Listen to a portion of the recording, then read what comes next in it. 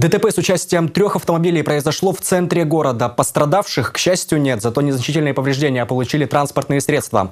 Впрочем, водители, которые находились за рулем, даже не имея водительского удостоверения, никто наказывать не стал. Вместо штрафа автолюбителям дали наставления и ознакомили с правилами дорожного движения. На площади Марацей прошла акция «Юный водитель». В дорожном ликбезе участие приняла и моя коллега Алина Ваучейская. Ей слово. Грудь и спина для водителя стена. Эту фразу знает, пожалуй, каждый автомобилист. А вот для юных автолюбителей сигналы регулировщиков новинку. На проезжей части, пусть и импровизированные, то и дело образуются дорожные заторы. Но после небольшого ликбеза в части ПДД движение нормализуется. Сейчас я перекрываю движение для всех и открываю движение для вас.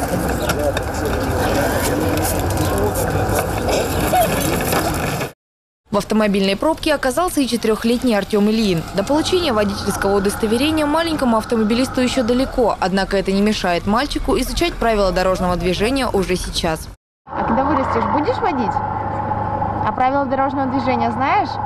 Пока что нет. А вот здесь вот что делал? Узнал. А что именно узнал? Да, надо ездить.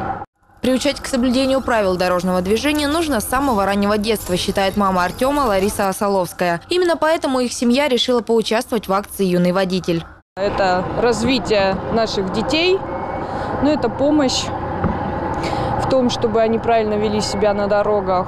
Я думаю, что это очень надо. Дорожные знаки, разметка, светофоры зебра, пешеходы и даже настоящий инспектор ДПС. Все условия по максимуму приближены к реальным. Правда, за нарушение малышей никто не наказывает, ведь главная цель акции – ознакомить юных водителей с правилами дорожного движения и снизить детский травматизм на дорогах. Мысль была такая, что дети с раннего возраста, пускай не боятся человека в форме, соблюдают правила движения. Мы все видим, что они, в общем-то, нормально на это реагируют. Кстати, знания маленьких водителей оказались на довольно высоком уровне. Если на автодроме ребята чувствовали себя не совсем уверенно, то на лекции по ПДД каждый из них показал весьма отличные знания. Честно сказать, лично сегодня я удивился. Дети, я скажу, знают.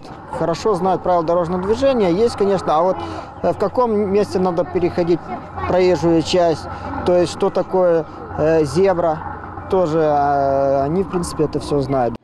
За свои знания маленькие автомобилисты получили приятные подарки. Совместными усилиями сотрудники ГИБДД и Комиссии по безопасности дорожного движения Ненецкого округа еще раз показали и доказали, что безопасность на дорогах напрямую зависит от знаний ПДД. Алина Ваучейская, Дмитрий Лукевич, телеканал «Север».